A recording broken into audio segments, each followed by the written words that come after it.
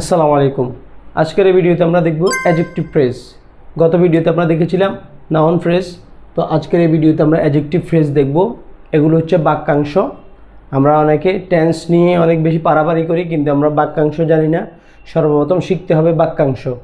Parts of speech শিখতে হবে, কিন্তু ওগুলো অনেকেই জানে। Parts of speech noun pronoun adjective verb adverb preposition conjunction interjection এগুলো অনেকে জানে। কিন্তু প্রেস জানে না অনেকে। আমি দেখেছি, আমি এই যে কয়েক বছর পড়িয়েছি, তো দেখেছি স্টুডেন্টরা এখনও পর্যন্ত ইন্টারমিডিয়েট পাস করে এসেও প্রেস বুঝে না প্রেস জানে না। তো চিন্তা করলাম যে প্রেস থেকে শুরু করি। এরপর আমরা টেন্সের দিকে যাব আস্তে আস্তে, এরপর বড় বড় বাক্যের দিকে যাব। তো সেই ভাবনা থেকে আসলে বানানো ভিডিওগুলো ফ্রেজ বাক্যাংশগুলো বুঝতে হবে, নাহলে ইংরেজি বোঝা যাবে না।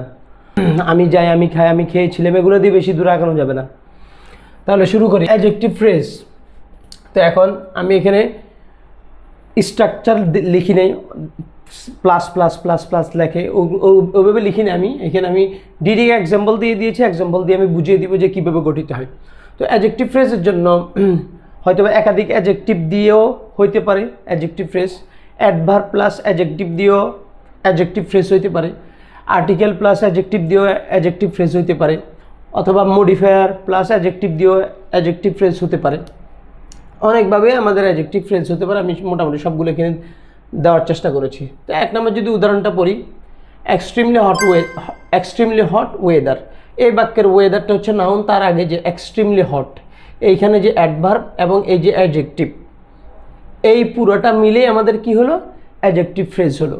তাহলে এই পুরো অংশটা হচ্ছে আমাদের, এই অংশটা হচ্ছে আমাদের অ্যাজেক্টিভ ফ্রেজ আর ওয়েদারটা হচ্ছে নাউন তো এখন যদি আমি আন্ডারলাইন করে দিই এক্সট্রিমলি হট ওয়েদার তখন এটা কিন্তু পুরাটা হয়ে যাবে নাউন ফ্রেজ কারণ এই এক্সট্রিমলি হট এই পুরো ফ্রেজটা এই বাক্যাংশটা, এই নাউনটাকে মডিফাই করতেছে। আর আমরা জানি যখন একাধিক শব্দ, একের অধিক শব্দ যখন কোনো কিছুকে মডিফাই করবে, তখন সেটা অ্যাজেক্টিভ ফ্রেজ হয়ে যাবে। তাহলে এক্সট্রিমলি হট এখানে এক্সট্রিমলি অ্যাডভার্ব আর হট হচ্ছে অ্যাজেক্টিভ এই দুটো মিলে ওয়েদারকে মডিফাই করতেছে। কিন্তু আন্ডারলাইন করা কিন্তু এটার নিচে তাই এইটা অ্যাজেক্টিভ ফ্রেজ তাহলে এখানে দেখলাম অ্যাডভার্ব প্লাস অ্যাজেক্টিভ মিলেই অ্যাজেক্টিভ ফ্রেজ গঠিত হলো। তাহলে আমরা এটা অ্যাজেক্টিভ ফ্রেজ ধরবো। দুই নম্বর যদি দেখি আমি দ্য ভেরি টল ট্রি ট্রিটিও নাউন আমরা জানি ট্রি নাউন কিন্তু তার আগে এই ট্রিটাকে মডিফাই করতেছে তিনজন, তিনটা ওয়ার্ড দ্য আর্টিকেল এটাকে আমরা ডিটারমিনারও বলি। ভেরি অ্যাডভার্ব টল অ্যাজেক্টিভ তাহলে আর্টিকেল বা ডিটারমিনার এরপরে অ্যাডভার্ব এরপরে অ্যাজেক্টিভ মিলেই আমাদের কি হয়ে গেল?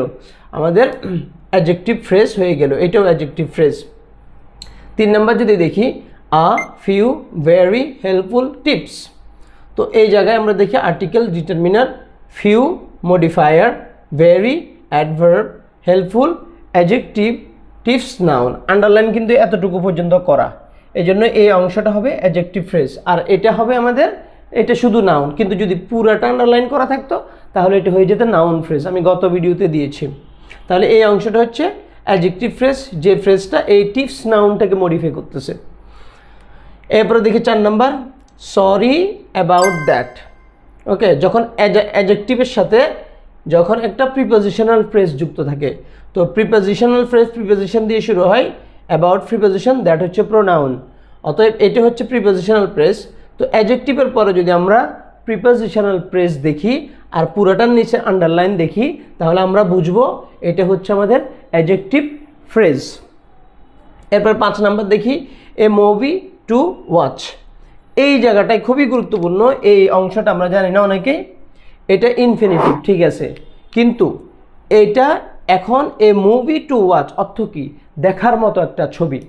তাহলে এই টু ওয়াচ, এটা হয়ে যাবে আমাদের অ্যাজেক্টিভ এই ইনফিনিটিভটা অ্যাজেক্টিভ অনেককে দেখলাম যে ইনফিনিটিভ নাকি কনজাংশন তো আমি বুঝি না কীভাবে বলল। ইনফিনিটিভ হয়তো অ্যাজেক্টিভ হবে অথবা নাউন হবে। হয়তো অ্যাজেক্টিভ হবে, না হলে নাউন হবে বাক্যে। যদি তার আগের নাউনটাকে সে মডিফাই করে, তাহলে সে অ্যাজেক্টিভ ফ্রেশ হবে। তবে এখানে একটা কথা আছে। সেটা হচ্ছে আমরা দেখতেছি যে এই জায়গাটায় অ্যাজেক্টিভ ফ্রেজটা নাউনের আগে আসছে। এই যে সবগুলোতে নাউনের আগে আসছে। এইখানে দেখা যাচ্ছে যে অ্যাজেক্টিভ ফ্রেজটা আসছে বা ইনফিনিটিভ যেটা, সেটা আসছে পরে, যে নাউনটাকে মডিফাই করতেছে সেটা আসছে আগে। তো অ্যাজেক্টিভ ফ্রেজ দুই ধরনের হইতে পারে। সে আগে হইতে পারে অথবা পরেও হতে পারে। এটাকে বলা হয় প্রেডিকেটিভ প্রেডিকেটিভ অ্যাজেক্টিভ আর এটা হচ্ছে অ্যাট্রিবিউটিভ অ্যাজেক্টিভ ওকে অত ডিটেলসে যাওয়ার দরকার নেই। ফ্রেজটা বুঝলে হইল আমাদের। ছয় number, a story told by my grandmother অনেক, অনেকেই এটা জানবে না। ঠিক আছে? অর্থাৎ এই স্টোরি একটি গল্প, এগুলো হচ্ছে প্রেডিকেটিভ অ্যাজেক্টিভ যেটা যে নাউনটাকে মডিফাই করতেছে, সে কিন্তু পরে আছে। আরবি ভাষার মতো। আরবি ভাষার মধ্যে কিন্তু অ্যাজেক্টিভ যেটা, সেটা পরে থাকে। অ্যাজেক্টিভটা পরে থাকে, অর্থাৎ সেটারে মৌসু, ইয়া, সিফত বলা আর কি। আর ইংরেজিতে আমরা অ্যাজেক্টিভ বলতেছি আর কি। সেগুলো অন্য আলোচনা, আমি ইনশাল্লাহ দিব, আরবি, ইংলিশ মিলিয়ে দিব। রোজা আসুক, রোজার মধ্যে কিন্তু ফাটাফাটি কিছু একটা হবে ইনশাল্লাহ। ওকে এই story told by my grandmother তাহলে এই অংশে, এই স্টোরিটা হচ্ছে নাউন এই পুরো নাউনটাকে মডিফাই করতেছে কে? এইখানে একটা ভার্বের ফর্ম দেওয়া আছে। যদি ভার্বের থার্ড ফর্ম যদি ভার্বের ফার্স্ট পার্টিসিপাল ফর্ম তার পুরো অংশটা সহ, আগের নাউনটাকে মডিফাই করে, এটাও কিন্তু অ্যাজেক্টিভ ফ্রেজ হয়ে যাবে। তাহলে এই story told by my grandmother আমার আমার দাদি কর্তৃক বর্ণিত একটি ঘটনা। এই পুরোটা হচ্ছে অংশ, বাক্যাংশ, এটি কোনো বাক্য না। এটাও অ্যাজেক্টিভ ফ্রেজ তাহলে ভার্বের ফার্স্ট পার্টিসিপল পরের অংশ মিলিয়ে যদি আগের নাউনটাকে মডিফাই করে, এই প্রিডিকেটিভ অ্যাজেক্টিভ বলবে এটাকে এবং এটা পুরোটা হয়ে যাবে অ্যাজেক্টিভ ফ্রেজ এরপরে দেখি সাত number. He is faster than you comparative degree comparative ডিগ্রিটাও adjective phrase তাহলে আমরা জানি কম্পারেটিভ ডিগ্রি যখন কোনো গুণে দুইজন মানুষকে দুইটা বস্তুকে তুলনা করা হয়, সেটাকে বলা হয় কম্পারেটিভ তো কম্পারেটিভ ডিগ্রির এই কম্পারেটিভ অ্যাজেক্টিভ যেটা থাকে মানে অ্যাজেক্টিভ যেটা থাকে এই সেটার অংশ সহ পুরোটাই হয়ে যায় আমাদের অ্যাজেক্টিভ ফ্রেজ এটা হয়ে যায় অ্যাজেক্টিভ ফ্রেজ তাহলে এই ফাস্টার দেন ইউ এই পুরোটাই হচ্ছে অ্যাজেক্টিভ ফ্রেজ নয় নাম্বার দেখি। The five young Japanese students এ শুধু স্টুডেন্টটা হচ্ছে নাউন এখানে। তার আগে দ্য ফাইভ ইয়াং জাপানিজ এই পুরো অংশটাই হয়ে গেল আমাদের অ্যাজেক্টিভ ফ্রেজ কি কি ব্যবহৃত হয়েছে? আর্টিকেল ব্যবহৃত হয়েছে নাম্বার অ্যাজেক্টিভ বলে এগুলোকে।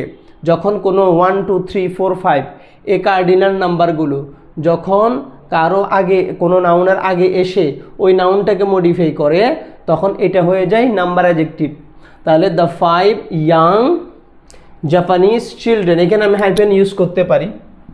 ওকে অনেক সময় ধরো এটা হাইপেন এটা অ্যাজেক্টিভের মধ্যেও পড়ে।